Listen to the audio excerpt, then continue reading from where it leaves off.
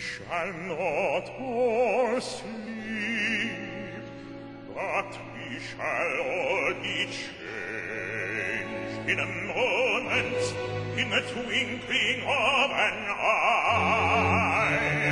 At the last trumpet,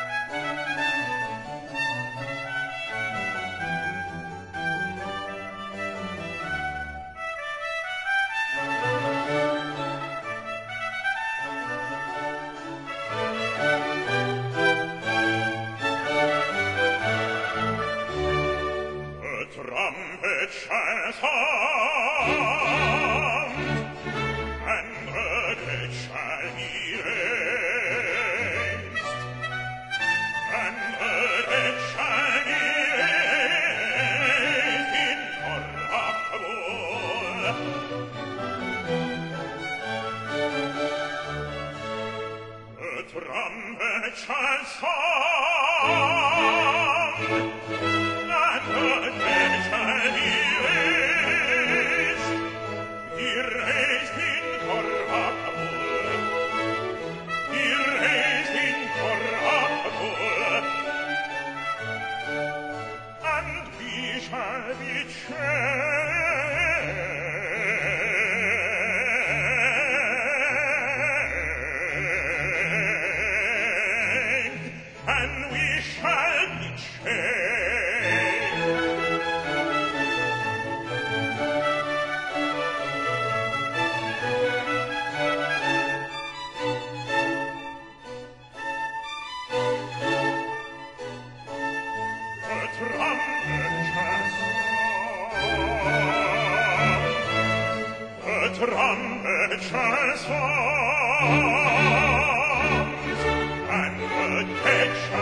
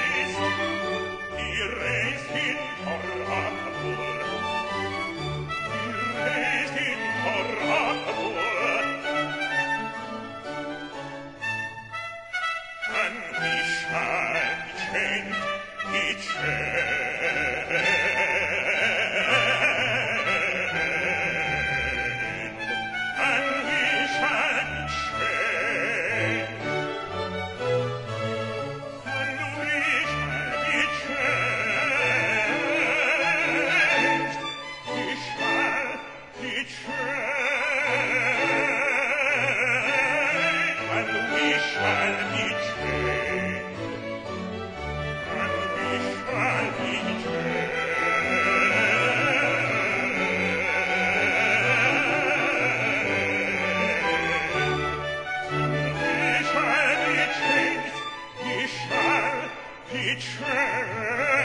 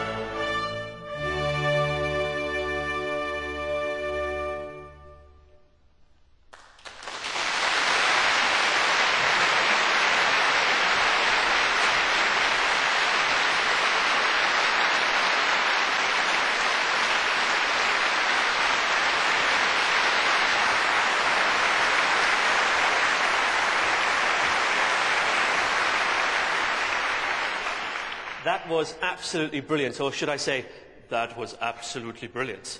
Um, you obviously really enjoy singing this piece. I love the piece. It's a timeless story. It's very uplifting and, uh, and on a religious kind of note. It's just, it's just a wonderful uh, example of the Messiah, of, of him coming, which is great for the Sari. You were brought up as a Christian, weren't you? I was, very much so. On the Pacific Islands in New Zealand, where I'm from, it's a very important part of our heritage. It's a very important part of daily life, and so I take this kind of music very seriously. Oh, so it's an added bonus for you in a way. It is. It's great. You know, singing is what I do, but to be able to sing this kind of music with this kind of meaning and the kind of text that's involved, it's beautiful. Can I ask you, what do you actually think about when you're performing a piece like that on the platform? Oh, I think of a lot of things. Words, notes, note lengths. Um, But is there, is, there, is there a connection between you and God, if you like? I'd like to think so. I'd like to think, I mean, the recitative in itself, I think, is one of the most beautiful moments for the bass in this piece. And um, it shows a real tenderness before the kind of the triumphant feeling of the trumpet coming through and showing this wonderful revelation of his, his rebirth in a way. Um, but I, I do feel a, a personal like a, kind of connection, which is lovely, and it makes me feel like close to the gods, maybe a bit cliche, but I really feel like, you know, I'm one of the, the many that's, that's revering him. Uh, when did you start singing? I started as a boy soprano and as a treble in New Zealand, and uh, my parents dragged me along to, uh, to some auditions that I did there, and I, I was hooked ever since. It's the, the storytelling nature of the music and things like the Messiah, which, you know, the, the words on their own are, are great, but when you set them to wonderful music, it's even more special. If you had a choice of any oratorio to sing, uh, would Messiah be up there? I think it is actually. It's, it's hard work, it's a hard piece, but it's so gratifying for not just the soloists, but chorus and orchestra, and I feel it's a great ensemble piece to get stuck into. And would you recommend young people sing this piece? I, I think it's great. I mean, uh, you know, it's catchy, it's, uh, it's relevant. Um, so many things that the story depicts is, are things that we can, we can relate to in, in life today, which I think is Uh, You think people can relate Messiah to life today? I think so. You know, sometimes you have to look at it and, and study it, but I think the essence of it is, is very relevant today. And uh, what do you think of our chorus today? I think they're very special, and there's a lot of them, and they make a really good noise. It's great. Fantastic. Ladies and gentlemen, Jonathan Lemalu.